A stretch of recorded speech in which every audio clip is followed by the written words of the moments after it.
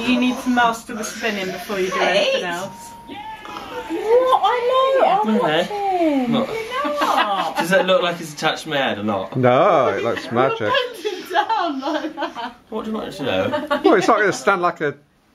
In the shop, they're not just like that. Come on then. I know they're in the shop because he's been practicing for three months at Do UFO that. camp. I've bloody. like that. And all that kind of stuff. Do you understand? You're doing that and getting enough air to make it move. You're doing it. No, I'm You're not. going.